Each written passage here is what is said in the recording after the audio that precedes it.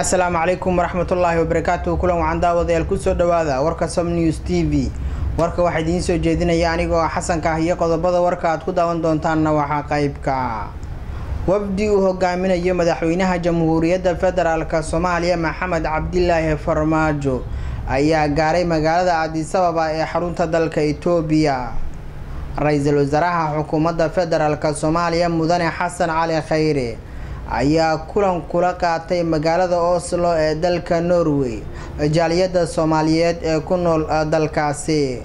Madaxweynihii hore ee dowladda federaalk soomaaliya mudane xasan sheekh maxamuud ayaa ka hadlay colaada ka soconaysa deegaanka tukaraq ee gobolka sool ee u dhexeysa somalilan iyo puntland.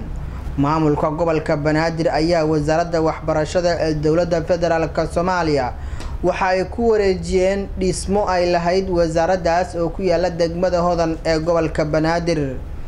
Mas'uuliyiin ka tirsan maamulka degmada garbaharey ee gobolka gado ayaa waxa ay ku hormeereen dhismaha buundo laga dhisayo degmadaasi waxaana shacabka ay ugu baaqeen inay ka qayb qaataan bilic soo celinta degmada. Dal ka mid ah dalalka yurub ayaa mamnuucay in magangelyo ay siiyaan dadka muhaajiriinta ah ee ku sii qulqulaya qaybo ka mid ah waddamada yurub.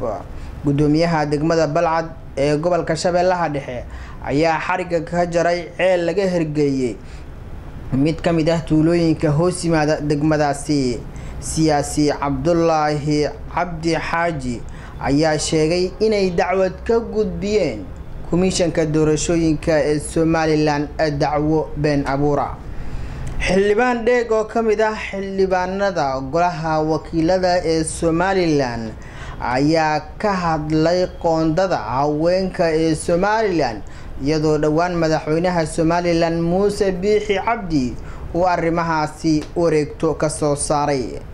Qodobadaas iyo qodobo kale ayaad warka ku daawan doontaan u diyaar garooba